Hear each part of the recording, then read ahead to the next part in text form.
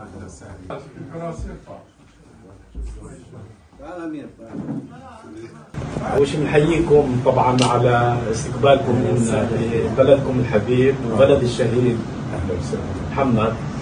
شرف لنا أهلا وسهلا بك.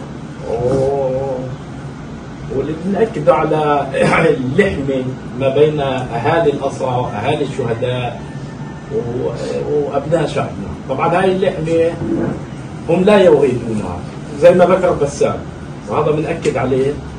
وإحنا طبعا دائما نستمر هاي الثقافة اللي بنتحدث عنها انه يكون ثقافة وطنية ما بين أهالي الشهداء أبناء شعبنا بأكمله؟ هاي يجب أن تستمر رغما عن أنفهم. مش لأنه هكذا تربينا هكذا ديننا بيفرض علينا. مش لأنه فقط لا نقيض لهم لا. لأنه هيك تربينا وهيك إحنا بنكون وإحنا مستمرين طبعا بعد فقداننا للشهيد وليد دقة وفقداننا لجميع الشهداء. وهذا نؤكد.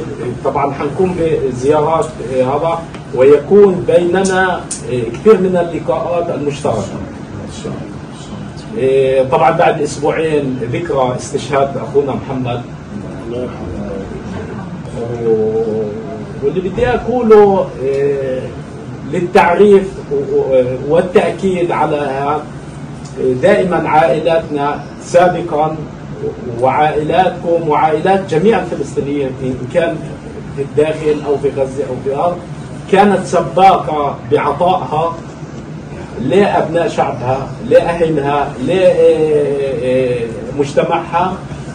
وتكون النتيجة اذا يكونوا مستهدفين ابنائنا، مستهدفين من قبل هذا الاحتلال، من قبل هذه المؤسسات الاجراميه اللي بتستهدف أبناء شعبنا لأنهم ماشيين على الحق وعلى الطريق الصحيح.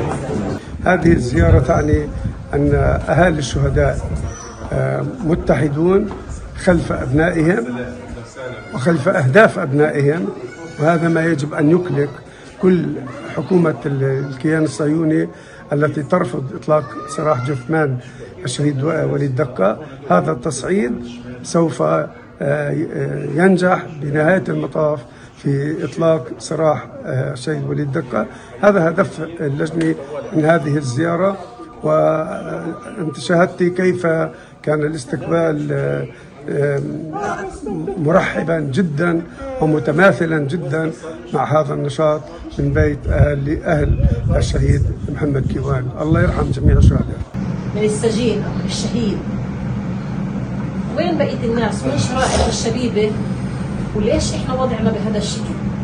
ليش مش قادرين إيه نحفز هدول الناس؟ يعني إحنا اليوم الحرب حركت زي ما قال هلا أمريكا صح وين يعني إذا بدنا نضل بهذا الحال نطلع هون الأغلبية اختيارية زي يعني واضح كيف ممكن نعمل بوعي هالشبيبه ونحرك مرة. يعني أنا في رأيي الناس كانت. لازم آه، يعني نحضر حالنا لهذه المعركة حتى تحرير جثمان الشهيد وليد. ما نتراجع عن تحقيق هذا الهدف. هم عاجلا أم آجلا راح يتركوا سراحه. بس هم غبيين أنا برأيي هم أغبياء. هم معطينا فرصة. آه، نشرح كل قضية وليد كل قضية الشهداء بكل البلاد. وخليهم يضلوا متمسكين بموقفهم وإحنا متمسكين بموقفنا. بالتالي إحنا راح نحشد كل شعبنا من أجل قضية كل الشهداء مش بس وليد من خلال قضية الشهيد وليد. مرة أخرى بدنا نشد الهمة ونضلنا على الأقل اللجنه الشعبيه متراصين. ونجند كل أهالي الشهداء في كل البلاد. نحن كما قال الرفيق أسعد في خضم مرحلة مخاض ثوري قد تنتج عنه حالة ثورية تستكمل هذا المشوار الوطني الطويل